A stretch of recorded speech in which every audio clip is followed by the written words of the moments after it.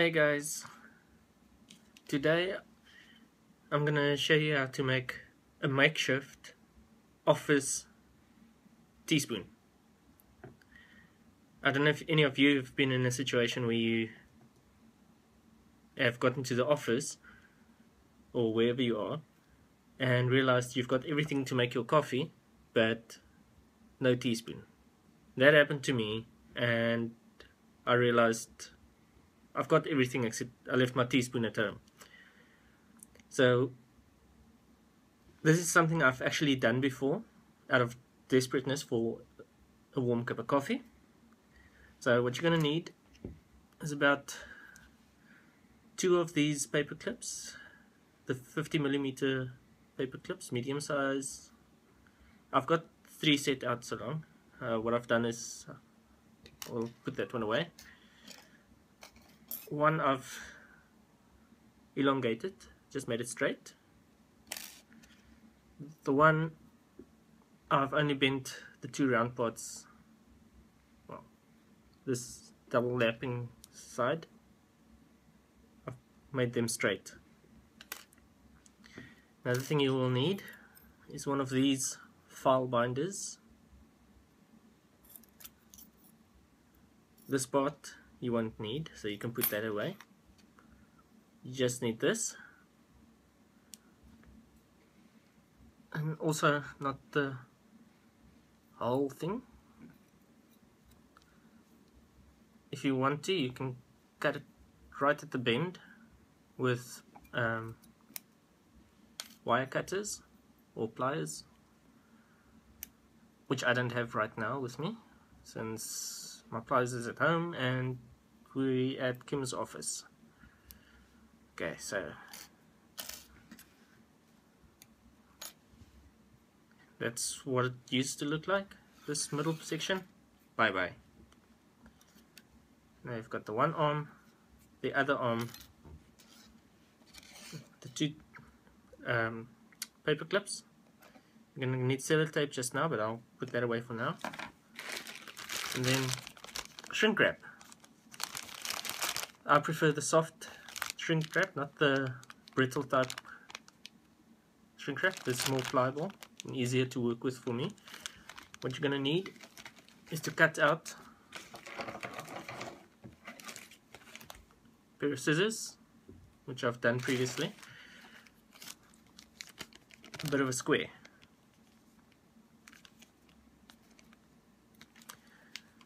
First things first,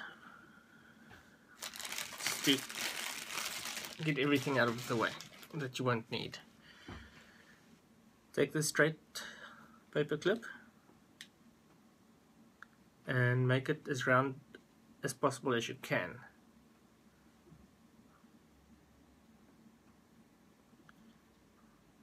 From the middle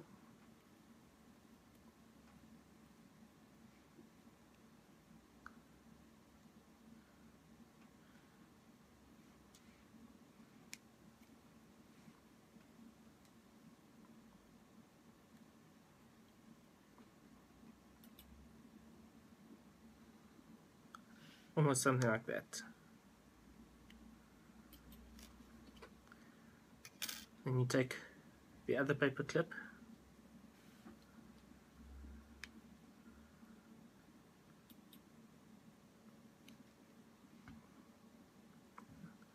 Give it a little bend like that. What I like to do is if you can see you've got a shorter piece here on your round your head of the teaspoon shape. Short piece and a long piece here with the natural bend that it had you'll end up with a short piece and a long piece. I prefer to have the long and short piece and long and short piece.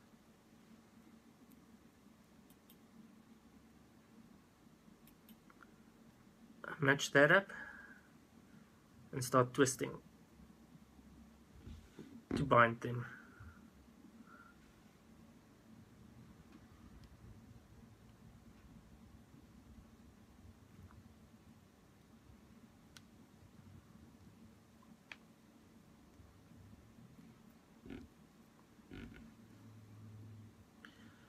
if the paperclip wants to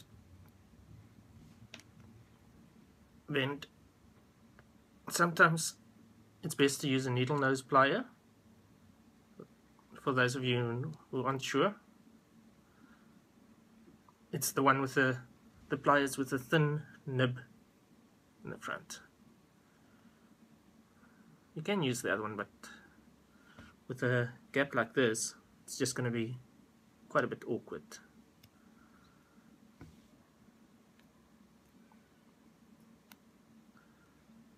And of course, the more you twist it, the more secure it will be.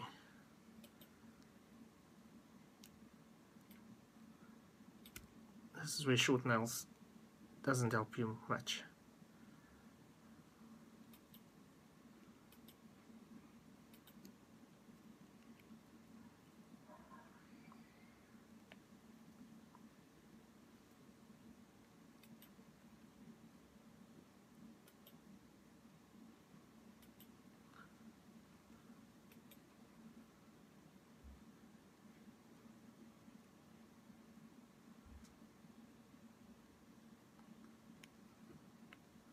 Sometimes you twist one part move over to the next.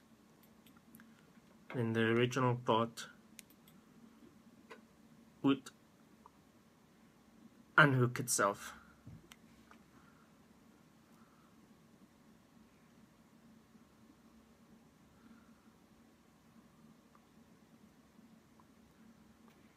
So what I've did there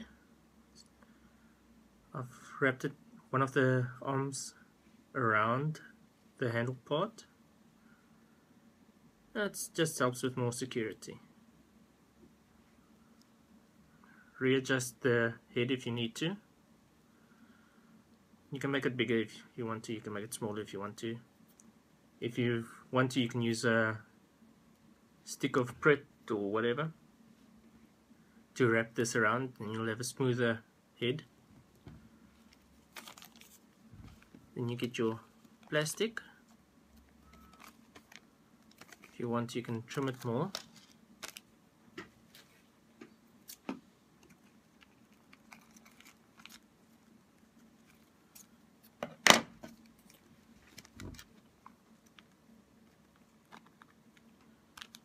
Lay it over the head of your teaspoon.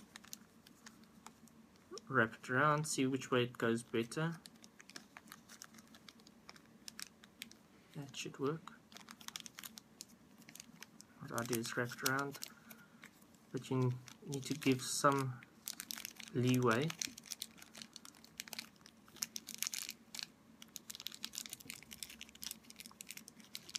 So that it goes inwards. For it to keep the shape is where these things come in I like to crisscross them. Now, with these things, just be careful. The edges are sharp. On the one side, it's got a rounded feel. On the other side, it's got a sharper feel. I guess it's how it's been cut. But form it a bit to make the scoop side of your teaspoon. Lay it in there. And wrap the overlapping part down. Same with this one. Be sure to get all of the plastic that you want to grab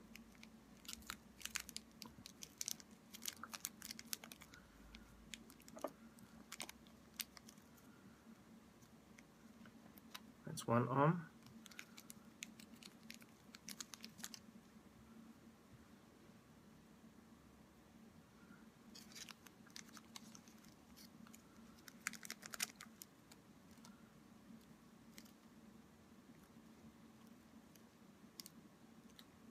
If you want to, you can even, to prevent the sagging,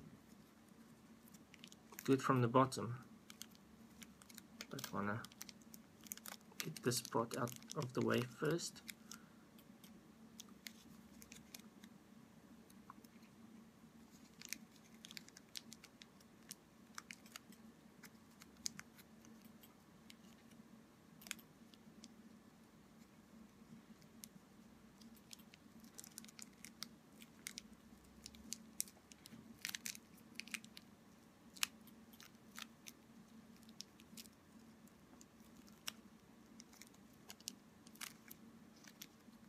We go.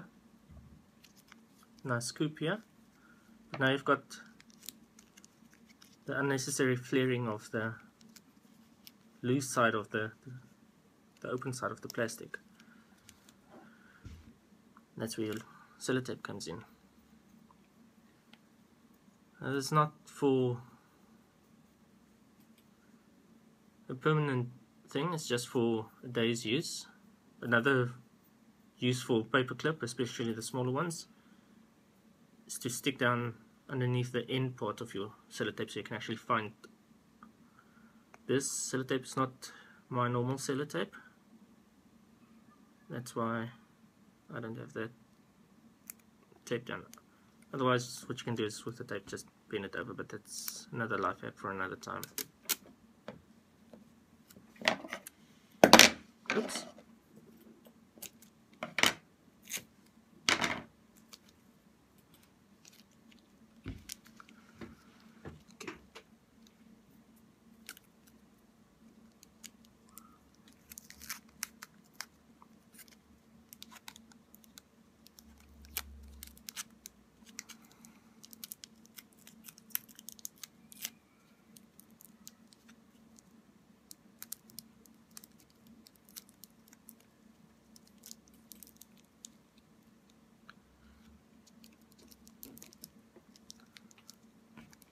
There you go.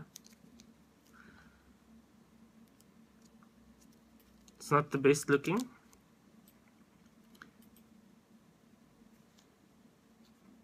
But it will help you out in a pinch. Just a little life hack. It doesn't help with survival skills unless you need coffee to survive for the morning. If you want you can use some more plastic wrapped around the handle. You can use longer paper clips to make the handle part longer, this bigger, any way you want to. Wrap this around a few more times so it doesn't poke out. But yeah, I hope you guys enjoyed this. Give it a thumbs up. If those of you haven't subscribed yet, click the subscribe button, comments down below, let me know what you think, and let me know if there's something else you want to see. Cheers guys.